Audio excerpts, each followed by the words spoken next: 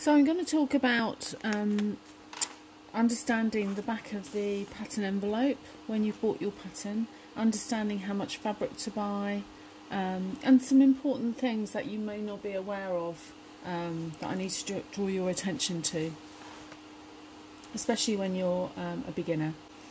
So it's really important to read the back of the envelope. There's a lot of information on here that will help you decide if this is the right pattern for you, if this is the right pattern for the fabric that you might have already chosen that you'd like to make it out of. And also um, understanding if it's the right um, whether you you can use a pattern or a stripe or a, a, check and whether it's a suitable pattern for that. So first of all I'm going to start by um, just going through all this information so that you understand it. So the very first thing there will be is a description of what the garment is now, for this particular um, pattern, which is a dress, it says a lined dress has fitted bodice, lingerie loops, brackets thread, underskirt and invisible back zipper. Purchased bias tape to finish hem and optional bugle and seed beads to embellish floral design.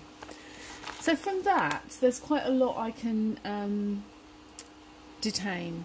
First of all, it says lined dress. So I know it's lined. So if you don't want to do a lined dress or you're not at that stage then obviously this isn't the pattern for you because it won't show you how to finish it if it's unlined.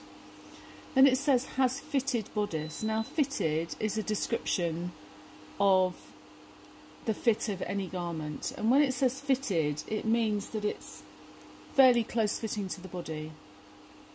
Now there's several th ways that they describe the fit. They might say um, loose fitting, very loose fitting, fitted, semi fitted. And then it says uh, lingerie loops. Well, that's just uh, loops that go under your bra straps, really, on the shoulders. So don't worry about those. Underskirt. That means it has a separate uh, skirt lining that is almost like wearing a slip, really an invisible back zipper. So that means that a concealed zip or invisible zip so if you haven't put one of those in before it's not going to show you how to put a normal coiled zip in.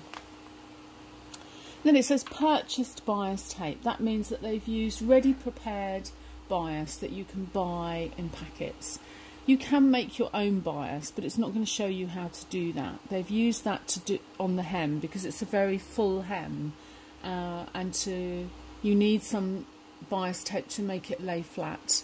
Um, and then it says optional bugle beads and to embellish. Well, that's just saying that you can decorate it afterwards if you like. Now, um, the next thing it's got is the uh, the sizing, and you'll notice that um, they come in multi-size now patterns. This one is um, the, the bigger size, the 14 to the 22.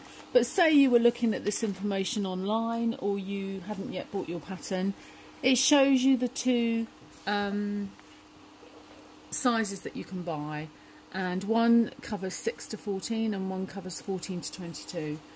Now different patterns uh, straddle different sizes so they're not always the same. Sometimes you'll get one that does 6 to 12 and then 14 to 18 and then 20 to 26 or something like that. So just make sure that you do buy the right one. I'll talk a bit more about the sizing uh, later on so that you understand what size to buy. But make sure you buy the right size first of all. And then it's got fabrics, and this is suggested fabrics for the dress that this designer has designed. And that's quite important too, because if you're trying to make something look like the picture, for example, it's not going to look like the picture if you don't buy the right fabric. Now you will find that there's a lot of Americanized words um, in in this description. Not always, I don't know that there is here, but I'll, I'll find some other examples. So it says fabrics, crepe, silk, jacquard, linen blends. Well, actually, they're all English terms, but if I find um, another one, yes, here, this is a coat, and it says uh, lightweight velvet, lightweight tweed, denim and broadcloth. Well, broadcloth isn't something we say in this country. It's an American term uh, all you need to do is find one that you understand. So if you understand what silk is, then you know that that's a lightweight, soft fabric that has drape. So all these crepe, silk, jacquard, linen blends are fairly soft and will have a bit of flow because obviously this is quite a full skirt. You wouldn't want it to just stick out. And then it says um, lining for the bodice is a stretch mesh and lining for the underskirt is organza. And lining for the basic part of the dress is a lining fabric.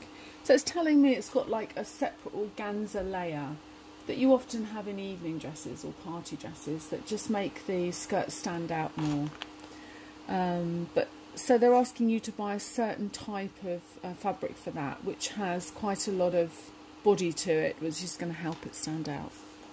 Um, but the fabric description will help you to choose the material that you're going to buy. I'm just looking at this one, which is a skirt. Different. This is a simplicity pattern and it says light to medium weight woven fabrics such as batiks, brocade, challis, another American word, crepe back satin, crepe de chine, denim, linen types, pique, poplin, sateen, taffeta. Again, if you don't understand any of those descriptions, just Google them and they'll give you a description of what that fabric is. They'll say something like woven, average weight fabric with some body or something like that and it'll guide you as to the correct fabric you need to buy for the uh, pattern. That's not to say you can't use other fabrics, it's just that the fit, they've allowed the fitting of this for a certain weight. So you will find it won't fit as well, you'll have to do a lot more adjustments if you used a lot much more heavier fabric, say, than they're describing. So then it says, mine says, unsuitable for obvious diagonals. That means a fabric with a diagonal design and the reason that this is unsuitable I know is because of this skirt because the diagonals when it hangs down won't look good. If it was a straight skirt it might work fine but it's not going to work with this but they, they don't tell you why they just say it's not suitable so don't buy a fabric with a diagonal line.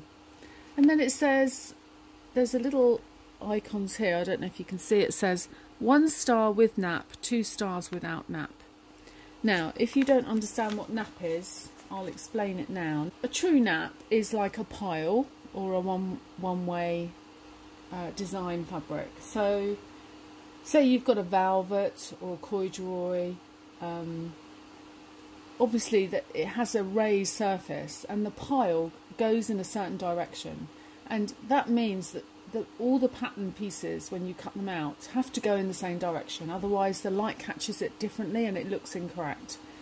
So anything that has a true nap, like velvet or corduroy, you would have to use the amount to buy for with nap. If you buy a fabric that has a one-way design, say you have a fabric that has uh, birds on it and all the birds are facing upwards, uh, then obviously that's the same thing. You have to have all those birds going up your garment on the sleeves and the, the body. So you would need to use the amount of fabric to buy with nap because it's the same process. Um, so when you look at the uh, amount to buy next to the fabric widths, they've got whether it's with nap or without nap. Now sometimes it's got both, and that just means that it doesn't matter. The way the pattern has been laid out means that um, it doesn't matter which one you buy. It's all they're all facing in the same direction. But sometimes you will see one star a certain amount of fabric and then two stars another amount. You just have to know has your fabric got a nap or a one-way design. If it has, you need to buy the yardage or amount of fabric for a with nap layout. If it doesn't, then you can have a without nap layout, and obviously that uses less fabric you will notice that there's two widths of fabric mentioned 45 inch or 60 inch and in metric you have to go across to the French again because patterns are aimed at the American market they put the English and imperial and metric in French so um, you just have to read across so it says 115 or 150 now fabric does come in other widths um, fabric used to be in only three widths. That was the old yard and then 45 inch and 60 inch. But over time, we now have fabric made all over the world from different loom sizes. So you will see fabric that is 110 centimetres wide, 115, 118, 120, 130, 135, 140, 142, 148, 150. A real wide range now. Basically, you need to find one that is the nearest, obviously. But if it's straddling the two, say you've got one that's 100 and say 35 centimetres wide, then my advice is to go down to the narrower for the amount that you need to buy because you're going to end up with more fabric than you need. If you go up to the higher one and you buy this amount of fabric, you might find you don't have enough because obviously your fabric's going to be a bit narrower. So identify what your fabric is that you're buying and, and decide which one it's closest to. And then you have to read across according to your size to know what to buy. So if you were say a size 14 on this particular size chart and you were buying say 120 centimeters wide, well that's closest to 150, then you read across and you find how much and it's 2 meters 20. The next thing it has is a fusible interfacing.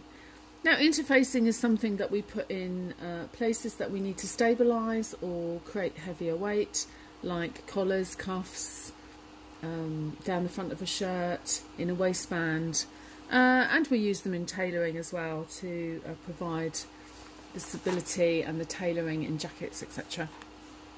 But basically for dressmaking you'll be using fusible which means that you iron it on.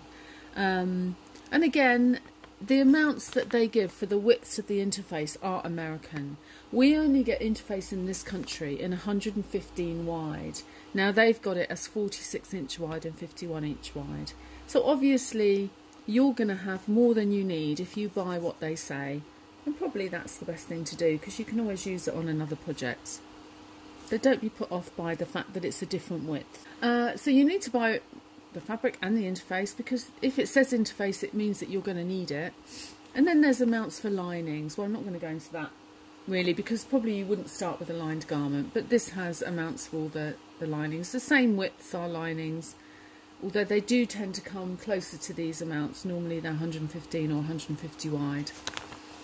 And then it's got notions. Well notions are just the other things that you need to buy to complete your garment like a button or a zip or some bias or something.